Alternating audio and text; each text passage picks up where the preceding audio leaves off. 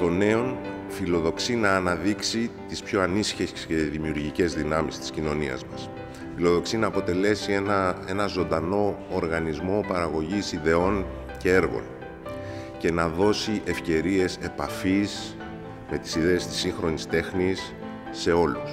Νομίζω ότι με τον νεοσύστατο οργανισμό νέων και προσωπικά με τον Δημήτρη Δασκαλόπουλο που διαθέτει μια από τις σημαντικότερες συλλογές διεθνώς, βρήκαμε τους τρόπους και νομίζω ότι στην πορεία αυτό θα δείξει, θα δώσει και τους καρπούς του, να στηρίξουμε και να δούμε νέους τρόπους που μπορεί να στηριχθεί αυτό και μάλιστα σε μια κρίσιμη στιγμή για την χώρα μας.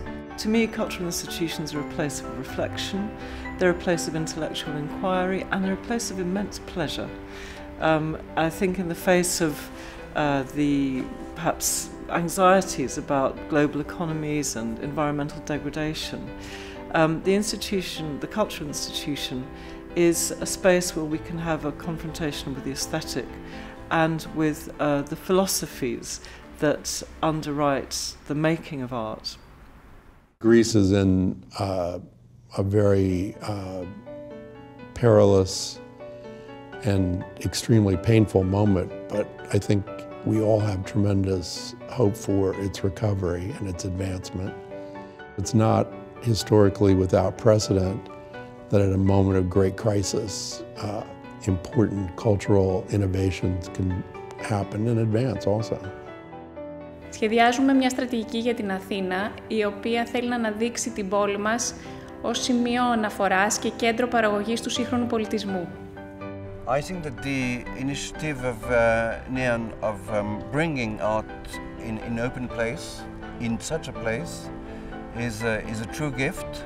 And what I love in um, contemporary art today in gardens, it's, it's free.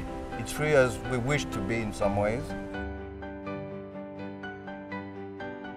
What is interesting about Neon is, of course, that on, on one hand it's driven by a very strong-minded individual who has um, um, brought a very strong team of people together um, around him. It's interesting that it emerges in a moment which many would describe as extremely challenging, but very often very exciting things and very interesting initiatives happen under those circumstances. So to set this up in Greece at this particular moment in time could potentially be really interesting, not least because it is very well resourced. Εγώ μέσα από την τέχνη συμμετέχω πληρέστερα στο σύγχρονο γίγνεσθε, στον προβληματισμό αυτών που δημιουργεί την εξέλιξη και την πρόοδο. Θα ήθελα και ο ρόλος της τέχνης να, να είναι να αμφισβητεί συνέχεια τα δεδομένα και την, ε, και την οργάνωσή μας και το σύστημά μας, έτσι ώστε να μπορούμε να εμπλουτίζουμε τον τρόπο με τον οποίο αυτό οργανωνόμαστε πιο δημιουργικά. Με ενδιαφέρει πάντα όταν ε, η τέχνη ε, μας συνεισφέρει στο να ευθυγραμμιζόμαστε σε σχέση με την ουσία της ύπαρξής μας. Μας υπενθυμίζει δηλαδή το ουσιαστικό. I think the role of cultural institutions in the world we live in um, is really that of a connector. I think in a multicultural environment, international culture is what everybody is really fascinated by. Art, because it's art, has an impact to society, to each other. And me, as an artist, what I do, what I try to do in my work is to get in contact with, not with society, but with what I call the other. Η σχέση μου με την τέχνη είναι βιωματική, είναι σχέση ζωής.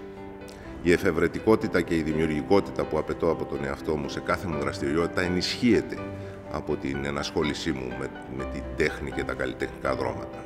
Και αυτό νομίζω ότι μπορεί να γίνει κτήμα ή κατάκτηση του καθενός.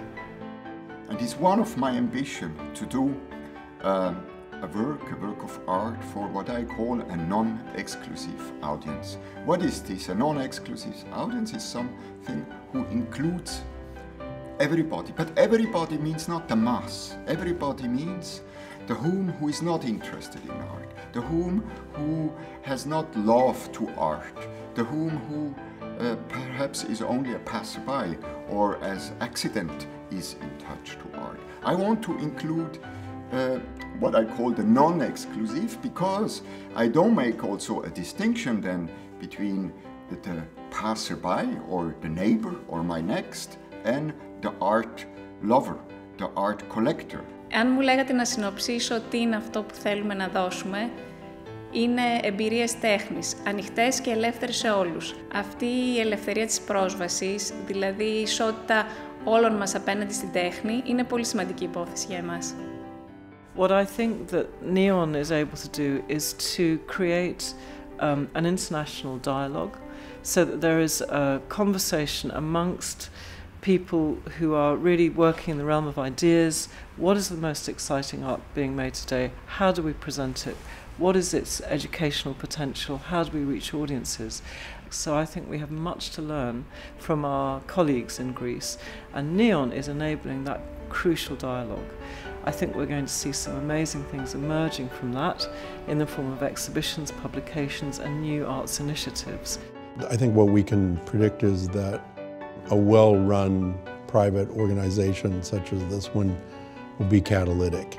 One of the challenges of being in a not-for-profit organization is recognizing that its timetable for success is very different than a political or a financial one. So to some degree what we're doing is investing in people who will overturn what we believe in 20 years from now.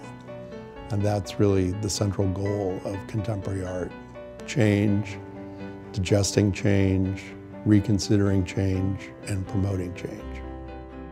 Γιατί η πεποίθησή μου είναι ότι μόνο αν παράγουμε πάλι τέχνη, σκέψη, πολιτισμό, θα μπορέσουμε να βγούμε από τη σημερινή κρίση, την οποία μας βολεύει να βαφτίζουμε οικονομική, ενώ είναι κατά βάση πολιτισμική.